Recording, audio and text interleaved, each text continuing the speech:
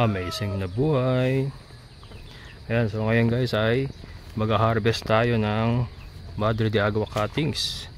At uh, meron po tayong pa-order na worth 7,500 pesos. Ayan so that's uh, 750 pieces ng Madre de Agua cuttings ang uh, kailangan natin putulin. Ayan yan po ang ating taniman. Ayan po so dyan tayo mangunguha. Yan doon sa dulo. Ayan punta tayo doon para makita nyo. So ayan po. So ito po yung uh, kabuuan ng uh, aking taniman ng Madre de Agua. Yan so nakita nyo po yung mga ganito. Ito po ay mga uh, hindi pa natalbusan. Ano kaya kung makita nyo kompleto pa po ang kanilang dahon. Yan may dahon pa sila. So ito po itong ating hinaharvest itong mga dahon na to sa gilid. Yan tinatanggal natin yan. And then ito pong sa gitna yung pinaka main stem. Yan po yung yan po yung ating ibinebenta. Yan so ganito po magiging itsura niyan. Yan, so ganito po ang uh, magiging itsura niyan pagka na harvest na. Yan. Ito po yung trinabaho ko ng mga nakarang araw at uh, medyo natagalan kasi walang tigil ang ulan. So kung makikita nyo ito po. Yan hmm. so top portion na lang po yung natirang dahon. And then yan hanggang sa baba po ang putol natin yan. So yan po ang kinakat natin into 2 uh, nodes 2 to 3 nodes. Yun po ay 10 pesos ang isa ang ating benta. Yan yan po. Ito. Ayan o oh. So nakita nyo guys kung uh, paano po tayo kikita sa Madre de Agua ng tuloy-tuloy. So ito po ay tuloy-tuloy. Nakita nyo naman pagka yan po ay naputol ko, yan po ay uusbong uli and then uh, mga ilang buwan lang ay magiging ganyan na po sila uli katangkad at ganyan na po uli kataba. Uh, pwede na uling gawing cuttings. Ayan. So ito po, ito po yung portion na hindi pa natin nakakatingan yan. So ito ay pinalalago ko pa. Yan, pinalalago ko pa yan. So pagka napudpud ko po yung nasa labas, yung pinakita ko sa inyo kanina, ay ito naman po ang susunod na haharvest natin uh, itong mga dahon and then pagka may umorder dito rin tayo kukuha ng cuttings so yun ang labas muna yung labas muna mauna pagka naubos doon ay dito naman and then by the time na maubos na naman ito ito pong portion na to itong kukunan natin ngayon ay magiging malago na uli. Uh, and then pagka na-harvest na natin ay ready for cuttings na naman. So ganoon lang po. Pabalik-balik lang. So nakita, nakita nyo guys yung uh, tuloy-tuloy na uh, pakinabang sa punong Madre de Agua once na nabuhay na siya. So wala nang pataba. Ito hindi ko nilalagyan ng pataba. Uh, ito ay tuloy-tuloy lamang po sa pagtubo. Ayan. Putol tayo ng putol tubo siya ng tubo. Ganun lang po yon and at the same time ay meron tayong naipapakain sa ating mga alaga. So 50% po ng pakain sa lahat po ng aking mga alaga ay dito po sa Madre de Agua nang gagaling ayan. So yon po. Ito po ang uh, masasabi kong bread and butter ng aking mini farm sa ngayon ang uh, Madre de Agua noon ay akala ko yung mga baboy ang uh, bread and butter. Pero uh, sa ngayon po ito po ang nagdadala talaga. Ito mga halaman na to uh, kung wala po ito ay wala po tayong pagkukunan ng panggastos. At uh, sigurado po ay baka tumigil na po tayo kasi wala pong income. Ang atin naman po mga alaga yung mga manok baboy especially yung baboy uh, at kambing ay hindi naman po hindi, hindi pa naman po nagbibigay ng uh, income. Si Dago lang po sa kanyang stall service pero the rest ay wala pa. And then yung mga manok natin yes nakakabenta po tayo ng mga sisiw. Kaya lang uh, hindi naman po yun lahat ay net income. So malaki din po na expenses ng ating production. Una-una na yung, elect yung electricity yung pakain vitamins uh, mga gamot.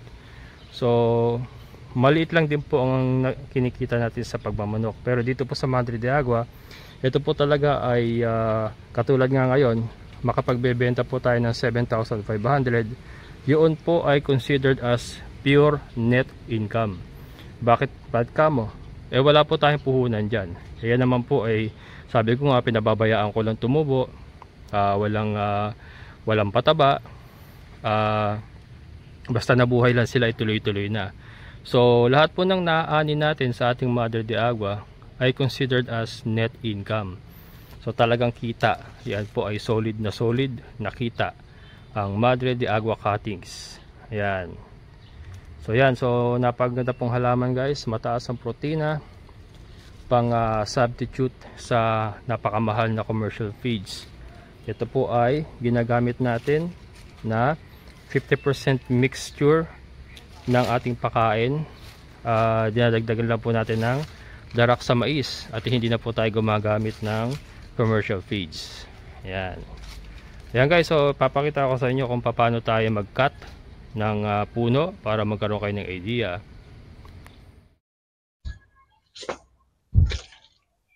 Ayan guys. So tayo magpuputol na. So tayo po ay armado ng ano ba to? cutter, ano ba tawag dito? Uh, pruning, uh, pang prune. Ayan, pang prune. At lagare. Yan. Shoutout kay Sir Joseph Tapang. Yan, sa kanya galing to, sir. Oh. Ang laki ng pakinabang ko ta sa binigay mo sa akin na lagari at pangpurun. Yan, shoutout. Sir Joseph Tapang from Japan. Dinala pa niya dito to guys, pasalubong niya sa akin. Ayan, so ngayon may puput magpuputol tayo. So dalawa da, dalawa yung dala ko guys para yung pag malalaki, lagari lagari ibabanat natin. Pagka yung maliliit lang, ito lang pamprun. So ito guys, so nakita nyo. Hmm. Puputulin lang natin yan dito sa may baba. Yan, so nagtitira po tayo ng 1, 2, 3. Mga tatlong node. 2 to 3 nodes. Pak. Hmm, ayan. So ito na. Ito na po yung ipunin natin. Ito ganun din. Uh, ito medyo makapal guys. Kailangan natin gamitan ng lagari ito. So, ano siya, makapal. So ito rin, ito mga dalawang nodes lang titira natin dito. Yan ba? Hmm, yan o. Oh. Diba? Ito pa.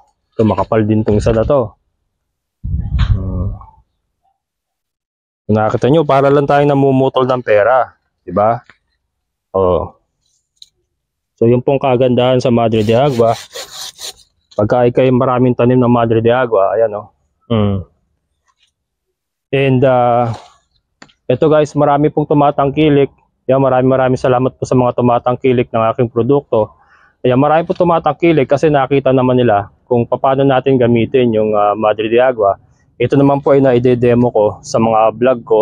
Nakikita nyo naman kung paano natin ipakain sa ating mga alaga. And nakikita nyo rin po na effective naman. Kinakain nila, nakikita naman sa katawan ng ating mga baboy na magaganda naman ang kanilang katawan nang ito lang ang kinakain, 50%, at yung ating darak sa mais. So nakita nyo po.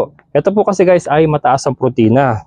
Uh, halos katumbas po ito ng soya pagdating po sa uh, protina. So napakaganda po talaga alternatibong pakain dahil po sa taas ng kanyang protein content. Yan, so ito 700 pieces po ang ating bubunuin Uh, ang maganda kasi dito guys, yun nga, pagkaputol natin, mga ilang buwan lang ay meron na naman. So talagang tubong-tubo. Sa sa una lang ang hirap, sa una lang ang hirap. At uh, ito, nung akin na naparami ay uh, tubo na talaga. Tumutubo na po talaga tayo. Kumikita na. Ito guys, may share ko lang. Ako po ay nagsimula lamang dito sa pitong puno. Yeah, pitong puno. Uh, that was uh, seven years ago. Six or seven years ago. Biruin niyo yan. Uh, napalago po natin ng ganyan sa pitong puno lang po. Yung buhay na, hindi po ako nagsimula sa cuttings, buhay na. Ang binili ko po nun ay yung tago 80 pesos na buhay na talaga, naka-plastic bag. Sa Manila Seedlings ko pa nabili to, Quezon City, biruin mo yan. At uh, naparami na natin ng ganito. So yan po Yan po ang isa ring makagandaan sa Madre de Agua. Naka, napakabilis niyang i-propagate. Ah, once na meron na siyang ah, magulang na sanga, putulin nyo lang po, tanim nyo, ay tutubo na siya. And then yung pinagputulan nyo, ay tutubo lang uli. And then, po pwede nyo na uli siyang itanim. So, ganun lang po, paulit-ulit lang po. Hanggang sa naparami ko na ng gusto. Ngayon ay todo na ang pakinabang ko sa ating tanim na Madre de Agua. Hmm. Yan, pasensya na kung maalog guys. At ah, wala po tayong katulong. Yan o. Tsaga-tsaga lang talaga. Talagang tsaga. Pero ang ganda rito kasi guys, yun nga, ah, tubo ka na. Walang, walang gastos yan eh. Wala nang gastos yan eh. Basta ulan lang. Sabi ko nga doon sa, sa isang vlog ko, malaking bagay po yung ulan sa pagpaparami ng ah, Madre de Agua sa kadalang sa pagpataba pagpapataba ng Madre de Agua. Plus yung mag ang lupa po kasi dito ay parang ah, clay type, hindi siya kagad ah, natutuyo. So gustong-gusto rin po kasi ng ah, Madre de Agua yung medyo basang lupa. Yung maputik. Yan, gusto niya yung nakasadlak siya sa putik. Hindi, mas gusto ng Madre de Agua guys yung maputik matubig. Yan, ah, isa pong tip ko. Once na nabuhay nyo na ang Madre de Agua, ah, mas gusto po niyan yung ah, malapit sa creek, malapit sa kanal. Ah, yun po yung mga gusto niya, yung malamig at ah, laging basa. Ayan, yun ang gusto ng Madre de Agua. Mm. Ano? Putulan tayo ng putol guys, oh. Itong pinuputol ko na to, eh, pera to guys. Mantakin mo yan, oh, di ba? So, minsan lang tayo naghirap. Ngayon na inaani na natin ang ating pinaghirapan. Yung ating anim na taon na pinaghirapang paramihin ay eto na. Tuloy-tuloy na po ang ah, binibigay na kita sa atin. Yan. Ayan guys, kinapos. Kinapos yung ah, nasa likod. Ah, ito lang yung ah, nakuha natin sa likod, oh. Yan. Ito. So ito ay ah, wala pang 750 cuttings to, hindi aabot. So buti na lang meron pa tayo dito. Yan. Babaling tayo rito. Ito yung pinakita ko kanina ng opening. Yan. Ang ganda ng opening, di ba? Yan, pero hindi ko pinakita tong side na to. Ayan. Itong side na to ay na-harvestan rin. Ayan. Oh, di ba? Tinago ko kanina. Mm, ayan. So dito tayo kukuha, guys. Ah, ito marami po. Yan oh. Yan, so kung uh, napag-harvestan ko na yan, yan. So yung top portion na lang ang natitirang dahon. Yan, so ito marami-rami pang cuttings yan. And ah, siguro naman ay aabot na ng 750. Yan, kasama ito mga to. Yan, so tara guys, dito tayo mamumutol ngayon. Ayan guys. Tirahin na natin itong mga to. Yan, marami-rami to eh. Hmm. Ano?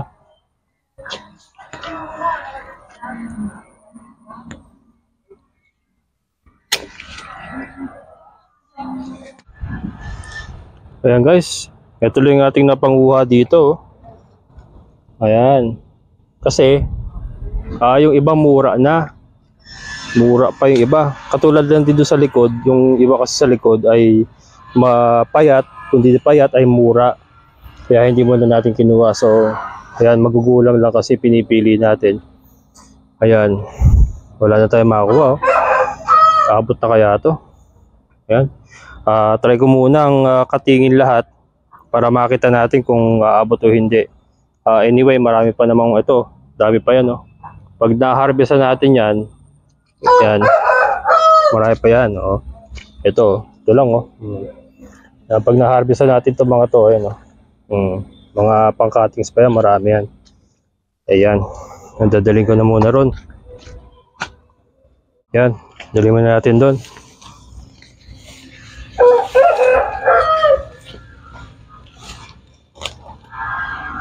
Yeah. Yan natin, baka may naiwan, sayang. Wala na.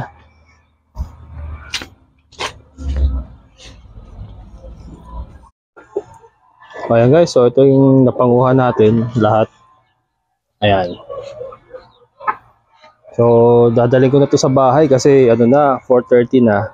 Sa, sa bahay ko na lang titirahin mamaya kahit abutin tayo madaling araw. At least ay nasa bahay na at ah, may ilaw doon, may kuryente. Ah, yan. Sasako ko na lang muna to and then ah, magpapakain tayo ng ating mga ako lang pala, magpapakain ako ng aking mga alaga and then sa bahay ta sa bahay ko kakatingin mamaya. Yan ipapakita ko sa inyo guys kung gaano karami aabutin yung ganitong ah, ganitong karaming ah, sanga ng cutting. So gaano, kung gaano sila karami. Ayan. So mamaya tutuloy natin sa bahay. Ayan guys. Tatapos ko lang mag-upload. Ah so overtime na naman tayo. So ah, time check. Mag alas 12 ng gabi. And ito ay lalamayan pa natin itong ah, cuttings. Yan, so tayo na natin to para makapag-umpisa na tayo sa paggawa ng cuttings. Ah, malamang sa komang ay aabutin ako ng madaling araw na ito. Pero okay lang. Basta matapos lang. Kasi nakakahiya na rin sa mga may-ari ng cuttings at ah, medyo matagal na pong na-pending to gawa nung sa bagyo nga ah, hindi tayo makagawa. Ngayon lang po gumanda panahon. Yan. So ito, sabi na natin to. Yan. So change tool tayo. So from laptop to pruning, ah, pruner, saka lagare. Yan, yun naman ang ah, titirahin natin ngayon guys. Tara.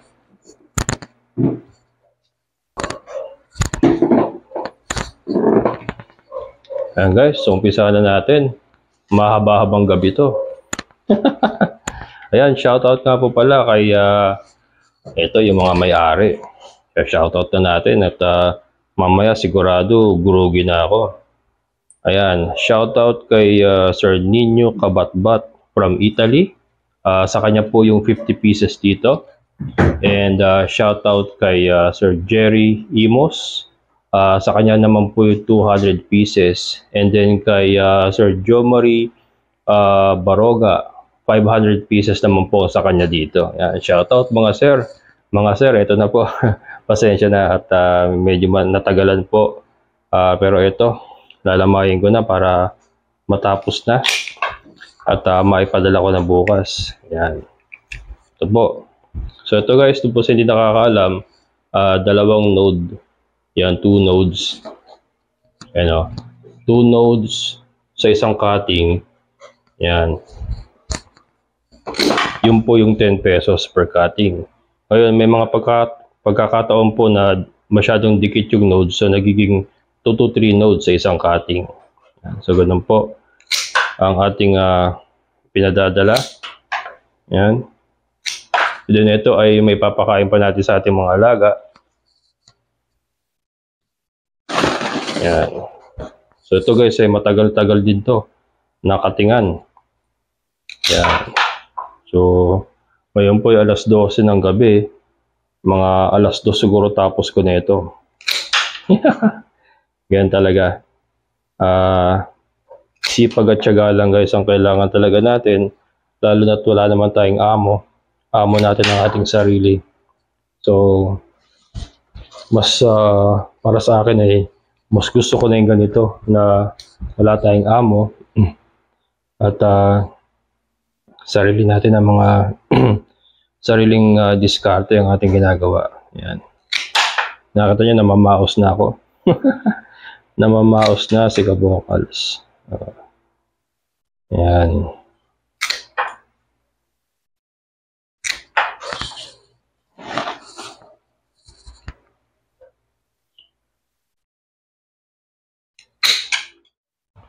Ayan guys, natapos din. Ah, time check. Hmm, dilim pa guys oh. Kaya madilim pa kasi alas 3 pa lang na madaling araw. Oh. Inabot tayo ng alas 3 na madaling araw. At ah, ako na lang ang gising sa aming community. Walang yan. Yan. yan. Hop. Pasisiw natin. Hmm. Ayan guys, so ito ay ipapako na muna And then bukas ay ipapa-LBC ko na yan. Ayan. So yan po, yung mga pinanguha natin kaninang uh, Madre de Agua. Yan po yung tagka 10 pesos per cutting. Ayan, 10 pesos per cutting. Assorted po syempre, hindi naman po pwedeng mataba lahat, hindi pwedeng mahaba lahat. So may mga ganito rin po. Ayan. Ayan. Ito mataba. Ayan. So yan po. Bukas, ready for LBC na. Ayan, natapos din at makapagpapahinga na rin si Kabokals. Ayan guys, so sana po nag-enjoy kayo. So ito nga po, uh, ito po yung isa sa kagandahan ng Madre de Agua. So sa umpisa lamang po tayo namuhunan yung initial na pagtatanim natin. Pero once na nabuhay na natin siya, at ito nga, uh, nabuhay na natin siya at uh, tuloy-tuloy na po ang uh, harvest natin sa kanya. And uh, hindi lamang po pagkain ng ating mga alaga, kundi nakakatulong din po sa mga araw-araw na panggastos natin sa pamagitan po ng ito nga ng cuttings na ating naibebenta. Uh, kagadahan po dito, sabi ko nga kanina, ay wala na pong maintenance na kailangan ng Madre de Agua. Walang, walang pataba, wala po tayong ginagastos. So tuloy-tuloy po ang uh, pag-harvest natin ng income nang wala po tayong uh, sa kanya. So yun, puro net income na po ang ibinibigay sa atin ng uh, halamang Madre de Agua. Yan. So, sana po yung nagkaroon kayo ng idea kung paano nyo po ma-maximize ang uh, paggamit sa inyong tanim na Madre de Agua. Yan. So, hindi lamang po pang hayop, pang kabuhayan pa. Ayan. Ayan guys, hanggang dito na lang at uh, groggy na si Kabokal. Sobrang pagod at antok na. Sana po nag-enjoy kayo. Maraming salamat sa inyong panonood. Muli, ito ang Kabokals Farmer na nagsasabing sabay-sabay tayong mangarap magsikap at sa lahat ay kumilos at siguradong uunlad ang ating amazing na buhay. Bye-bye!